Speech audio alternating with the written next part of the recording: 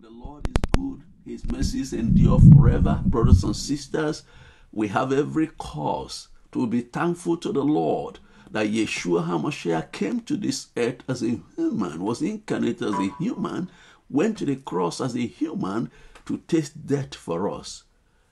He experienced everything that was meant for us. The soul destined shall die. He took it all upon himself. Then the handwriting of ordinances that was against us and contrary to us, the Torah, the old covenant, he fulfilled it all on our behalf and then released grace to us. So that by grace through faith we can be saved. We are reconciled to the Father. And the blood he shed was the blood of the covenant, was the blood that, you know what, overthrew Satan the blood that nullified every work of darkness, that makes the work of principalities and powers and rulers of darkness of this age of non effect concerning the least in the kingdom. Brothers and sisters, such a glorious plan of Elohim. And I want to encourage you if there's anything we should learn and learn and learn and learn, it is that we may know Him. Yeshua HaMashiach, not just know about Him, but experience Him. So today, in lesson four of the course, 102 Understanding Yeshua, we're going to talk about the pre existent Yeshua. We need to know about his pre existence because if you don't know, then it's going to be difficult for you to apprehend his divinity. And let me say this the course codes are going to change pretty soon when these courses are now. This is now one of the 300 level courses, you know what? And that is for those who are going towards the end of their Global School of Mercy program. Let's pray. Father in heaven, we thank you for the opportunity to come to your throne of grace on the merit of the blood that Yeshua shed, and by his name we come. We ask that Holy Spirit will unveil scripture for us and grant us understanding in Yeshua's name. Amen. So today we talk about the pre-existent Yeshua, a survey of you know truth in both the old and new covenants, the pre-existent nature, men and brethren. In the synopsis, we're given nine dimensions of Yeshua, which collectively make knowledge of Him complete. And there are two other dimensions that we're not discussed. We'll go into it as we continue.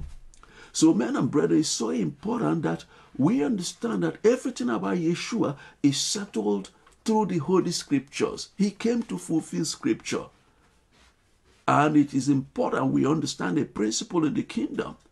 You don't just make any doctrine out of anything. You must have at least two scriptures that line up.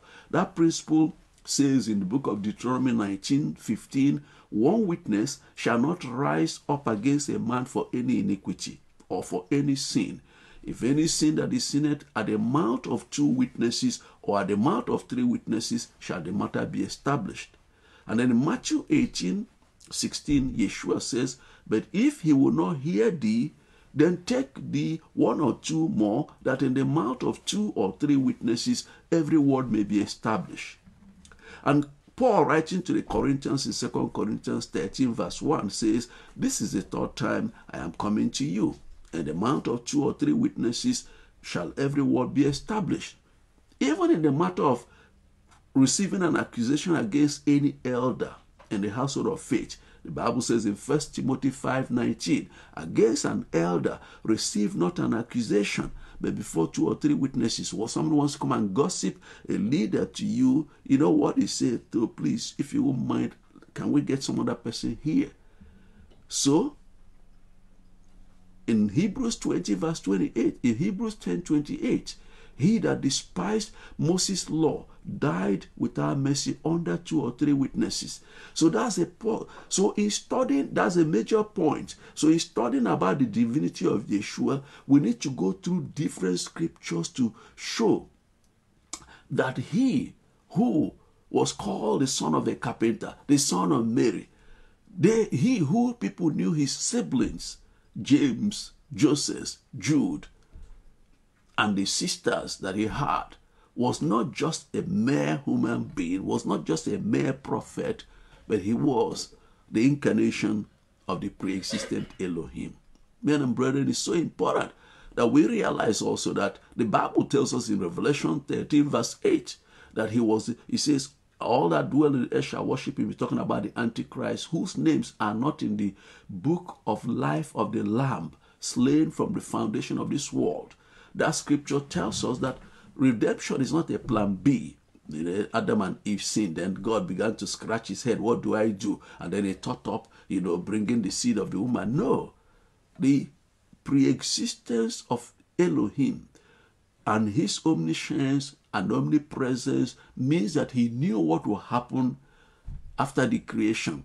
Yet he created man for fellowship. And when man fell, the promise of the seed of the woman was given. Brothers and sisters, we need to know the Lord has created us to worship Him in spirit and in truth. And that spirit and truth means we got to know the truth. If we know the truth, we are not going to miss it. For instance, let, us talk about this again before we go into the lesson today. If we understand that salvation was not a plan B before the foundation of the world, Yeshua knew that Adam and Eve will miss it, and he volunteered himself that they will come. Then it you, you now connect it with Ephesians chapter 1, where it says in verse 3 Blessed be the God and Father of our Lord Yeshua who has blessed us with all spiritual blessings in heavenly places in Yeshua. Verse 4 According as he has chosen us in him before the foundation of the world, that we should be holy without blame before him in love. Read all of Ephesians chapter 1, one of the most glorious scriptures that tells us that he chose us in Yeshua before the foundation of the world. You know, some people fear because of, you know, at times people distort scripture and they do their own stuff like those who believe in predestination. Whether you sin live in sin or not if you're ordained to make it you make it. If you if you are ordained to condemnation you must be condemned. Predestination has nothing to do with the gospel. But then that should not make us to now forget the positive aspect of predestination that is in the bible and that is that God chose us in Yeshua before the foundation of the world. Brothers and sisters, you are not a happenstance. You didn't just happen. You didn't just come to, eh, you didn't just by your own power become saved. You are part of a product of an intelligent decision of an intelligent Elohim. The spring and source of all wisdom made a decision that He will bring you to this world and that you will be saved.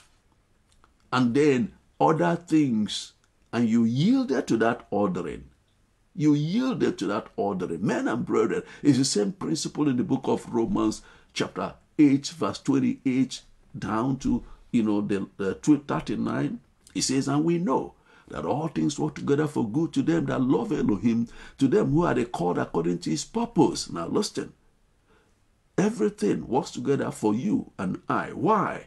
Because he says in verse 29, For whom he did foreknow, he also did predestinate to be conformed to the image of his son that he might be the firstborn among many brethren. So, with your redemption is a divine purpose, not just to redeem our soul, but that we will be conformed to the image of his dear son. In other words, the ultimate son, Yeshua, was given so that through his death, which the world will remember tomorrow without knowing him, through his death, the world will be repopulated with sons of Elohim.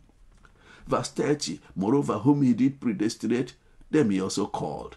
Whom he called, them he also justified. Whom he justified, them he also glorified. That's why I say, What then shall we say to these things? If Elohim be for us, who can be against us? Who is it that can be against you? Who is it? Who born Pekin, they say in Africa? Who is Satan? Who are the demons that will come against you, who destroy you? When the Lord had ordained to use you to impact your world, brothers and sisters, the more you understand the Father Yeshua was a lamb slain before the foundation of this world, and that time he was slain is when you were chosen in him before the foundation of this world. It's going to make you to have a healthy self-esteem. If this truth latches in you, you know that nobody can come and destroy you. Nothing can change your, the trajectory of your life. Certain things about you may seem delayed, they cannot be denied. It means that a full measure of allocation, all that the Father has ordained with which to decorate you to fulfill your destiny, they will come your way in due season. What is it you are waiting? What is it you are hoping for? Can I tell you something? John 16, 23, 24 says, Hitherto you've asked nothing in my name. Yeshua says, Ask and receive, that your joy may be full. This is a time to know that He knew you before you were born. He knew you before Adam and Eve sinned. Your names, your, your everything about you is inscribed in His hand. He says, Look, shall a woman forget her uh, suckling child? Yeah, in modern day London, they can. Because of career. You can be a child, put her in child care, rush off to work. A woman can do it. But Elohim say, I cannot. You are inscribed in my hand. And that inscription didn't happen today, before the foundation of this world. Men and brethren. So let's also now look at some of the scriptures about the pre-existing Yeshua if you look at Genesis 1:26, God said, Let us make man in our own image and likeness. Yeshua was part of that decision. The Father, the Son, and the Holy Spirit. We said it before in lesson one. When Adam and Eve fell, Genesis 3:15, uh, you know, the promise was, I put enmity between thee and the woman, and between the seed and her seed. It shall bruise thy head, thou shalt bruise his heel. That's what will be remembered tomorrow. That death at the cross, crucify him, crucify him. It was the bruising of his heel, but in so doing, he stamped out the authority and power of Satan, took away the keys of hell and death from him, that Satan cannot take anybody willy nilly again to spend eternity with him in hellfire, except you allow him. But the Father has, through Yeshua, paid the price for you to escape his snare. And that promise that he will put enmity between the woman and Satan, listen, it is for real. That's why Satan fights women more than men, because they carry the seed. They carry the seed. There's revelation in the woman. There is grace. There's birthing capacity. There's capacity to conceive and bring forth. And Satan does everything. He throws the sink at women. So when you see any woman standing, give her a thumbs up. Give her double thumbs up. Because women there's something about them Satan knows. You know, when women were, man was created from the dust of the earth, and then he was rough hewn, and then from that rough nature, Elohim took when it was time to create woman, he didn't go to the earth. He went to the man already created to take out a rib and covered it. Extra care, extra investment, extra. Satan knows that extra. Men and brethren, when it was time to, to deal with the issue of the Tower of Babel, Elohim said again, verse 23, the Lord said, Lest he be like us. Sorry, when Adam and Eve sinned and they was be chased out, in Genesis 3 23, 22, 23, he said, The man is become as one of us.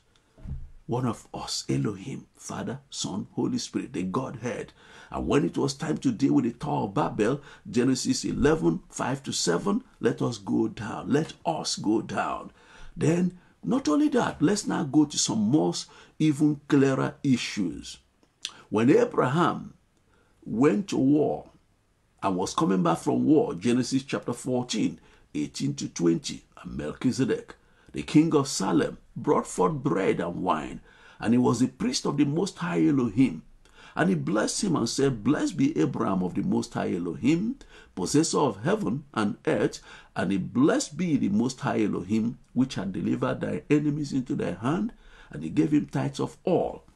Men and brethren, this scripture is one of the ones that, except you have revelation from the Lord, you won't know. That Melchizedek was Yeshua, is what we call a Christophany, the manifestation of the pre existent Yeshua in time. Because if you read the book of Hebrews, chapter 7, you see that it was clearly stated that he was not ordinary king. You say, look at uh, Hebrews 7 from verse 1. For this Melchizedek, king of Salem, priest of the Most High Elohim, who met Abraham returning from the slaughter of the kings and blessed him, to whom also Abraham gave a tenth of all, first being by interpretation king of righteousness. And after that, also king of Salem, which is king of peace. Take note of his title king of righteousness, king of peace, without father, without mother, without descent, having neither beginning of days nor end of life, but made like unto the Son of Elohim, abideth a priest continually. So Melchizedek was a Christophany, a, you know, a manifestation of the pre-existent Yeshua. And men and brethren, in verse 15 of that same Hebrews chapter uh, 7, it says, It is yet far more evident, for that after the similitude of Melchizedek, there ariseth another priest, who is made not after the law of a carnal commandment, but also but after the power of an endless life. For he testifieth, Thou art a priest forever after the order of Melchizedek. So that was Yeshua.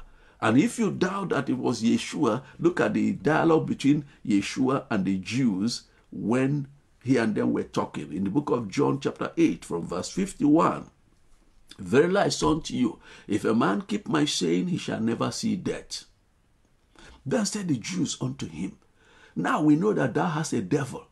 Abraham is dead, and the prophets, and thou sayest, If a man keep my saying, he shall never taste of death. Are you greater than our father Abraham, who is dead? and the prophets are dead. Who makest thou thyself? Yeshua answered, verse 54.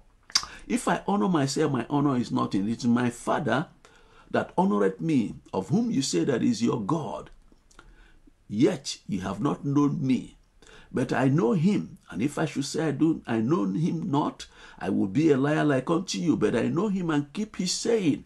Your father Abraham rejoiced to see my day. Wow. He saw it and was glad. Then said the Jews unto him, Thou art not yet fifty years old. Ye a young man. He was thirty-three and a half years then. And thou hast seen Abraham? Yeshua said unto them, Very well I say unto you, before Abraham was, I am. So Yeshua was saying that Abraham who saw Melchizedek, that was me, he saw. He rejoiced to see my day. He was glad. Brothers and sisters, even in, in Genesis 18, Christian religion presents, you know, Abraham saw three angels, and the angels, you know, he saw, you know, he he he gave them hospitality, and then he got a favor from from the Lord. The Bible doesn't present it as angels, so to say. It presented it as the Godhead coming down to execute judgment on Sodom. Let's see Genesis 18. The Lord appeared unto him in the place of Mamre, and he sat in the tent in the heat of the day. The Lord appeared unto him, lifted his eyes, and looked, and lo, three men stood before him. He saw them, he ran to meet them. Then, if you go on, on and on and on, you see that in verse 17, the Lord said, Shall I hide from Abraham that thing which I do, seeing that Abraham shall surely become a great nation? For all the nations of the earth shall be blessed in him, for I know him that he will command his children and his household after him, that they should keep the way of the Lord to do justice and judgment. And the Lord may bring upon Abraham that which he has spoken of him. And the Lord said, not angels said, the Lord said, because the cry of Sodom and Gomorrah is great, and because their sin is very grievous, I will go down and see whether they have done altogether according to the cry of it, which is common to me, and if not, I will know. So people say three angels. He saw. It was the Father, the Son, and the Holy Spirit. He saw. Now, in verse 25, as Abraham was pleading his cause and interceding for Sodom, you know what he says? That be far from thee, to do after this manner, to slay the righteous with the wicked, and that the righteous should be as the wicked, that be far from you. Shall not the judge of all the earth do right? Abraham was in a face to face encounter with the Father, Son, and Holy Spirit. Man and brother, is so important for us to know. What about the, the, the rock from where Israel was drinking water in the wilderness? You know what we're told in First Corinthians chapter 10, verse 4. They did eat and drink the same spiritual drink, for they drank of that spiritual rock that followed them, and that rock was Yeshua, his pre-existent brethren. Men and brethren, John the Beloved wrote, In the beginning was the Word, the Word was with Elohim, the Word was Elohim, the same was in the beginning with Elohim. All things were made by him, and without him was not anything made that was made. In him was life, and the life was the light of men. The light shineth in darkness, the darkness comprehended it not. John 1 1 to 5. Men and brethren, John 1 18. No man has seen Elohim at any time. The only begotten Son which is in the bosom of the Father, he had declared him. John 1.29, the very next day, John seeth Yeshua come unto him, said, Behold, the Lamb of Elohim, which taketh away the sins of the world. John 3, 5, 37, the Father himself, which hath sent me, had borne witness of me. You have neither heard his voice at any time nor seen his shape. So he was telling them, they were seeing him. John 6, 46, not that any man has seen the Father, save he which is of Elohim, he had seen the Father. If you read all of the book of uh, John 6 from 30 to 60, you see where Yeshua was in dialogue with the Jews and talking about him and his relationship with the Father in eternity past. And then, men and brethren, if you have time, read John 8 14 to 19 and 23 to 29, where he was also in dialogue with the Jews concerning his uh, identity. Then in John 14 1, he says, Let not your heart be troubled. Believe in me. Don't be troubled. Verse 6 I'm the way, the truth, and the life. No man come unto the Father but by me. And then he went into that dialogue with Philip. Philip said in verse 8, Show us the Father, it sufficeth us. Verse 9, Yeshua said unto him, Have I been so long time with you, and yet you have not known me, Philip? He that has seen me hath seen the Father. And how sayest thou, then show us the Father? Believest you not that I am in the Father, and the Father in me? The words that I speak unto you, I speak not of myself, but the Father that dwelleth in me, he doeth the works. Believe me that I am in the Father, and the Father is in me, or else believe me for the very work's sake. Very, very clear. He had been before time. If you look at John 17, Yeshua said this to the Father. He spake, then said Yeshua, and lifted up his eyes to heaven and said, Father, the hour is come. Glorify thy Son, that thy Son also may glorify thee. As thou hast given him life, as thou given him power over all flesh, that he should give eternal life to as many as thou hast given him. And this is eternal life, that they might know thee, the only true Elohim, and Yeshua whom thou hast sent. I've glorified thee on earth. I've finished the work which thou gavest me to do. And now, O Father, glorify thou me with this. Glorify thou me with thy own self, with the glory which I had with thee before the world was. He began to tell the Father, the mission you sent to me, I'm completing it. And now it's time for you to clothe me back again with the glory. That's what the resurrection and the ascension was, was him being clothed back with the glory so that he would go to heaven. And so all he did from the day of conception and birth to the day he gave up the ghost on the cross, that period of time was for him in his humanity to be the lamb that will take away the sins of the world, to be the one that will recover the kingdom which was lost in Adam, to be the one that will take away the handwriting of ordinances that was against us and contrary to us, to be the one that the Mosaic requirements will be fulfilled in him, and then from him will proceed, pro, proceed grace for us. And so the Son was simply a visible manifestation of the Father. That's what the book of Hebrews tells us. Elohim, who at sundry times in divers manners spake in time past unto the fathers by the prophets, had in these last days spoken unto us by his Son, whom he has appointed heir of all things, by whom also he made the world, who being the brightness of his glory, and the express image of his person, and upholding all things by the word of his power, when he had by himself purged our sins. That's what happened at the cross. Our sins were purged. And what happens? And sat down on the right hand of the majesty on high. Brothers and sisters, it is important to catch the revelation of Yeshua's divinity and Yeshua's humanity. And that as a human, when he went to the cross, he went to the cross to pay the price in full, that nothing again shall hold us back neither Satan nor demons, principalities or powers, rulers of darkness of this age.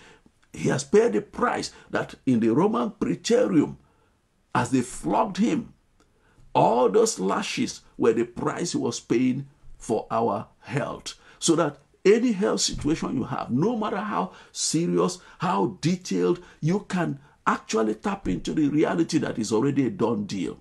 In Isaiah, he said, By whose stripes you will be healed. In First Peter, when he was reporting the same thing 2, verse 24, by whose stripes you were healed. It's already a done deal. He has done it already. It's for us to cash the check by faith, to believe the Lord that whatever comes against you comes against him, that you are the apple of his eyes, that when he said at the cross, it is finished, it was truly finished. I want to say once again, you can pick up this book, Legacies of Christ, one of our earliest books, and then you can also pick up the other one, Understanding Yeshua, and read it in this season. Soak yourself. Soak yourself. Paul said that I may know him. I want to know him. I want to come to a place where I'm conformed to his death, where my old man is crucified with him and taken away so that I can live in the newness of the new life. Brothers and sisters, how hard are you chasing after to be like Yeshua, to know Him, to have an experiential understanding of Him? And what we're doing in this course is to bring forth the revelations in the Holy Scripture so you can escape the snare of the pseudo kingdom movement that says, preach the kingdom, don't preach Yeshua, don't preach Jesus. How can you ignore the king, who is the center and the circumference of the kingdom? So that you can escape the snare of those people who look at him as a mere rabbi, a mere Jewish prophet. Brothers and sisters, the God of the whole universe, at a particular point in time, when the blood of bulls and rams could not atone for sacrifice, the principle in the scripture is the soul that sinneth it shall die. So, what I deserved to die for my sin, he came and took my place and died for me. So the life I now live should not be my own. I have no business determining what I want to do by myself or what I think I want to be. All I need to do is to be a vessel, like this is a vessel holding warm water, to be a vessel in his hand, to do with me whatever it pleases him. That is what the Lord wants us to do. That is what makes all the difference. To come to that place in our walk with Him where the resurrection, the, the death at the cross humbles us. That divinity became humanity to take my place so that I won't have to die. He dies on my behalf. And then I'm no longer living, like Galatians 2.20 says, I'm no longer going to live my life. I allow him to use this vessel to do what he wants to do. And I have this confidence that nobody can cut down by one inch of time. Nobody can cut down by one hour the years appointed to this vessel and to you. That nothing can stop you from being who the Lord ordained you to be. If the if Elohim came on your behalf in Yeshua to pay the price, then who is it? What demon? What principality? What power? As Africans will say again, who born Pekin? Who born Pekin, that is to say, which power, what, by what power can Satan ever destroy what was redeemed with the precious blood of Yeshua? Yours is a hidden life.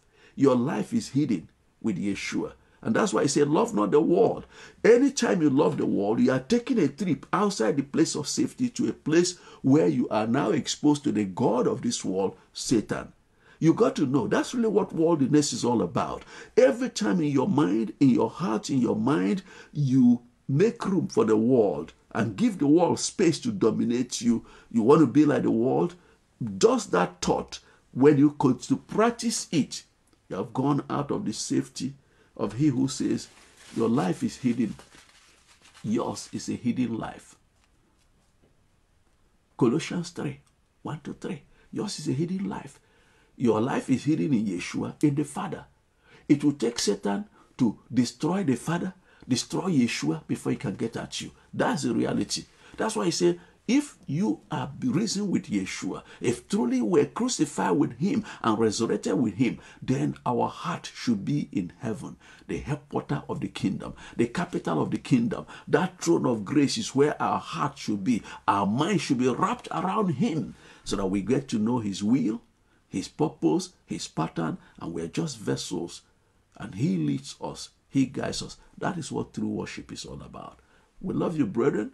And by way of assignment, please cite seven of the scriptures discussed in this lesson, which gave you the deepest understanding that Yeshua existed before the date he was incarnated in the earth realm as a human.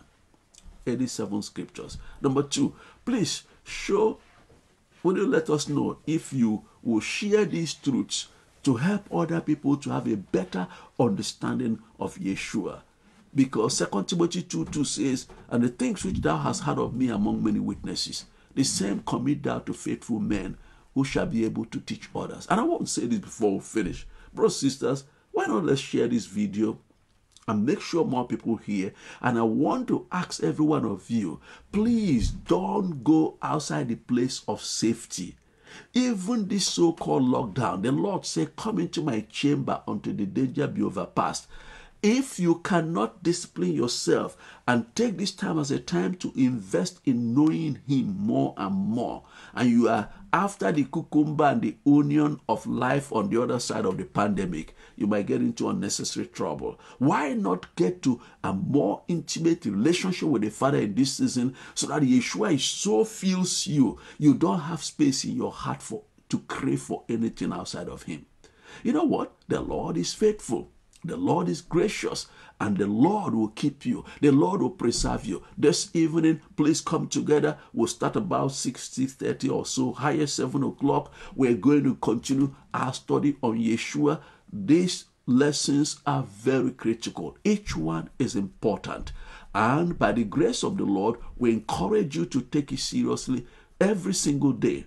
Take 40 minutes to study these things and pray them in and the Lord will strengthen you. Father in heaven, let your name be glorified. Let the word that has gone forth produce the fruit of you, the outcome you ordained before the foundation of this world. That your people will get to know you and the power of your resurrection be made conformable unto your death. Lord, bless you. Thank you, Father. In Yeshua's name we pray. Amen. Thank you, Pastor Grace.